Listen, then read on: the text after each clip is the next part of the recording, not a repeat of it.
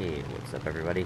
Broman here, got another video for you, this time flying out the P-47M on Krymsk against the Russians uh, with my brother, who is also flying the P-47M. Um, got a, I've got some nice gameplay uh, here for you, I think that uh, hopefully you'll be able to enjoy. Um, it's got some nice uh, cooperative squad tactic gameplay in it that hopefully you'll be able to learn from and, and use yourself in any uh, matches that you get into. Um, admittedly, this isn't so easy uh, to do when you're flying solo, uh, and that's largely due to the fact that you can't really communicate uh, efficiently with your teammates, but you know, if you can still employ some of these tactics, uh, and a lot of it relies on reacting to your team. I mean, it takes two, obviously. If they're not reacting well to you, it doesn't always uh, lead to success, even if you are adequately reacting to what they're doing. But um, it, it, can help you. You know, it doesn't hurt to, to, to pay attention to what your, your team's doing and to, react to them. Um, but anyways, let's get into the match here. Um, that first uh, attack there you saw in the Yak-3 was nothing too uh, advanced, just a dive, boom and zoom on the 3. I got some hits into him, took out his tail control, or, or so it told me in the match. And he flies away, and I never see him again. I don't get credit for the kill, but he ends up dying somehow. And uh, he doesn't return to the fight, so... Um, that leaves me and my brother so far um, attacking this I-185. He's, he's up there diving on the I-185, and I'm kind of hanging up high, keeping an eye out for other fighters flying top cover. And um, before my attack on the Yak-3, I remember seeing um, an LA-9 and a Yak-9 chasing a friendly target. And I no longer see that friendly target. So something tells me that he's been exterminated. So I call out to my brother, hey, watch out, be careful. I don't see those uh, those two enemy planes, and they're probably gaining some altitude on us. One's an LA-9, and I definitely do not want to uh, get caught at an energy disadvantage against an LA-9. So we both reverse to go looking for these two. That I-185 is too low now. He's out of the picture. And I actually think my brother ended up uh, doing enough damage to him that he died. Uh, he ended up he ended up flying headfirst into the ground. So sure enough, here we go. We turn around, and here's our Yak-9 or LA-9, just about at our altitude, um, flying towards us for a fight here. I'm not too worried about the Yak-9. It looks like I've got more than enough energy to, to be safe with him. It's this LA9 that I'm more worried about. He looks like he's more on my altitude, more on my energy level. Um, so I level out, pick up some speed, go for a high-speed merge here. Um, sure enough, he takes the bait, as always, goes for a high-speed reversal, throws away some of his energy, um, and I end up being okay, safe, uh, and able to outrun him. So um, now I go into my sort of drag n' bag uh, tactics here, dragging the opponent for my brother who's coming in. Um, try to set this kill up for him. I go up into a climb. If the LA9 chases me, that's going to put him in perfect position for my brother to pluck him right out of the air. Uh, he doesn't, though, and uh, he, he, dives away from my brother. Um, so this is a part where I kind of make a mistake.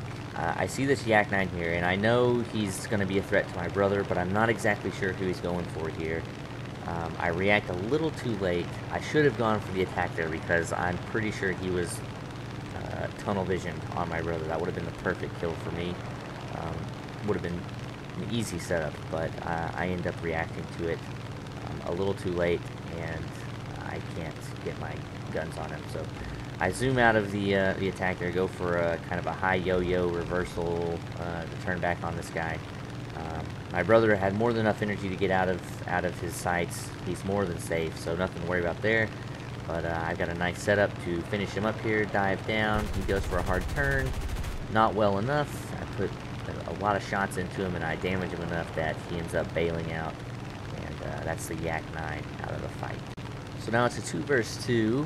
Uh, us versus the two LA-9s. Very scary planes uh, to have to deal with but I think we have the advantage that we are uh, communicating pretty well here. Um, so we go for the lowest one over here. That other one's pretty far out, um, and we're just gonna uh, basically play whack-a-mole here until one of them makes a mistake. Um, my brother gets in a nice position over this uh, first LA9, and he goes for a, dive on him. I'm going to climb up over the top um, to provide uh, top cover in case something happens. You know, he overshoots and he needs me to dive down and help him. But also because I know this other LA9's over here, I want to keep an eye on him. So my brother dives down. Um, he can't quite get the kill. He overshoots, but he's uh, got more than enough speed to escape this bottom LA9. I look up and see the top LA9 flying at us, and this is where we kind of start overwhelming this guy's um, situational awareness. He's got two two choices to make here. One, he either aims for me in a head-on uh, to, to thwart me, which leaves him open to my brother's attack, or he aims for my brother, which leaves him open to attack from me. Um, it turns out he ends up uh, going for me and then sort of going for some uh, evasive maneuver a little too late. My brother's got more than enough energy to climb up to him and uh, and takes him out of the sky there. So um, that's kind of perfectly executed teamwork there, I think. Um, overwhelming that guy's situational awareness. He can't react well enough uh, to both of us attacking at the same time. So now we're left in a 2v1 um, with plenty of energy over the last guy. Now we're going to start some um, cooperative boom and zoom here. At this point, it's important that we really, uh, we really overload this guy's situational awareness. Um, we're both going to be coming at him at different angles, one right after the other, so we're going to be aggressive in our turns here. Notice I'm not trying to conserve energy here. I'm pulling hard on the stick, looping around as fast as I can to get on him. That's because my brother's diving down right now. As soon as he gets done with his attack, I, I want to be as close to immediately as possible diving down on him after after his attack. So he's got to he's got to react to my brother, then immediately to me. My brother's gonna pull out of his uh, dive here. He's going to go into a sharp turn. He's pulling up. I'm diving down. As soon as um, my attack is finished, my brother's going to be pulling around hard, diving down on him immediately after. Just one right after the other, hammering this guy as hard as we can. We don't want to give him any opportunity to react here. We need him to make a mistake. The, the minute he loses um, he, he loses uh, contact with one of us, that's when the mistake is made, and, and this is what happens right here. He tunnel visions on me, and uh, he's an easy target for my brother there. Just like that, just really hammer it home there. So um, I think that's some uh, more flawless uh, team play there, I think. Excellent job by my brother. We did a really great job, um, I think. So um, that's pretty much it for this fight. Uh, not a lot else happens. There's one more bomber that we have to take out, um, and I'm going to go ahead and let the video play through on that kill. It's nothing spectacular. It's actually kind of, funny. he makes some mistakes even, so it's really not uh, worth watching per se. But I, I, do have some things I want to talk about while it's um, playing in the background. I've recently had some discussions with um, people, primarily on the forums, uh, the War Thunder forums, who tend to think that boom and zoom is obsolete, and you're better off uh, you're better off flying a plane that's very maneuverable or has really good climb rate and acceleration or, or you know whatever that they're they're just by default better than boom and zoom because uh, you know their their thinking is if you if you've got five random people in American planes versus five uh, random people in like Japanese planes I don't know zeros and high 43s and whatnot those other planes are they're just better, and so they're going to have an advantage. Um, and I think the reason that is is because people they they they fly this game they they play this game they fly their planes with a sort of solo mentality, like they're only out there for themselves. They've got to get as many kills as they can. Um, they, they they fly with almost no teamwork. Um, and you can't fly American planes like that. Like, obviously, if you fly something like a P-47 without some sort of teamwork mentality, then yeah, you're you're not gonna do well because teamwork is where these planes excel.